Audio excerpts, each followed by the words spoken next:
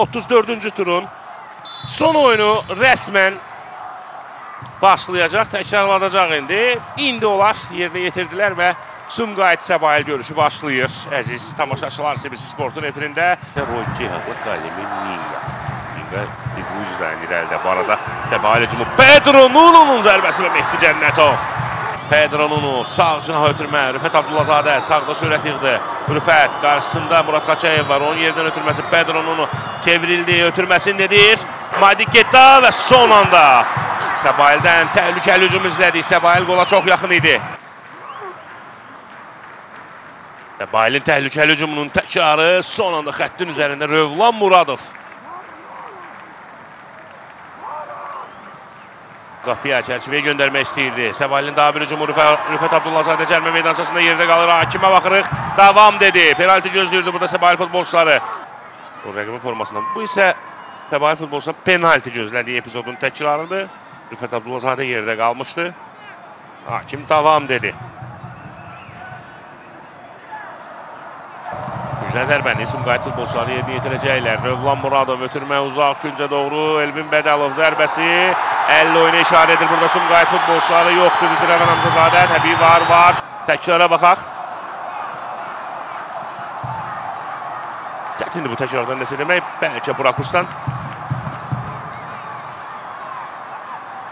Burada Adil Ağayevin əlinə dəymişdi top. Ağayev ardınca top uzaqlaşdı və Rəvan Hamzazadə vara gedir. Özü izləyəcək. Rakushdan məncə Revana da çətin olacaq qərar vermək, amma digər Rakushdan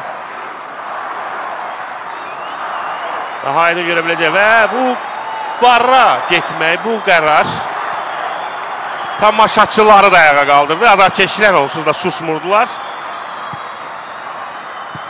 Bir çoxu tamaşaçı qismindədir. Sadəcə sakitcə yəni bu oyunu izləyirlər. Məhz bu səbəbdən dedim. İndi Rəvan Əmzəzadə vara baxdı və penalti nöqtəsini göstərir.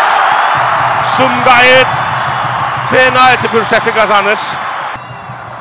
İşarə gəldi. Kazimir Ninga topun gerisində. Kazimir Ninga və 1-0 Sumqayıt hesab açır. Kazimir Ninga'nın 6-cı qolu mövsümdə çadlı hücumçu Sumqayıtı hesab önə çıxarır. Bu stadionun açılış oyununda da ilk qolu məhz o vurmuşdu.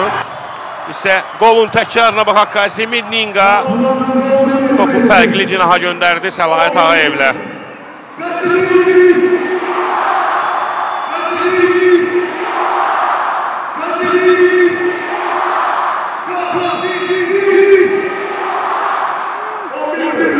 Azar verdiyi qolun müəllifini Sumqayıtda azarkeşlərin ağzından bir ağızdan dinlədik.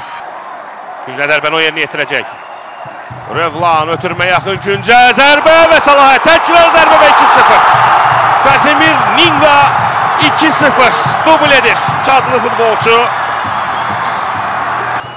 Təkrar baxaq Rövlan Muradovun ötürməsi, Oktavio Mantekanın zərbəsi. Dəlat Ağayev ilk zərbəni dəf edir. Amma Ademir Remic, Nir Bardeya, Silvin Delan. Birdən-birə o müdafiəçilərin əhatəsində boş qalan Kazimir Ninga son toxunuşla Mehdi Cənnətov.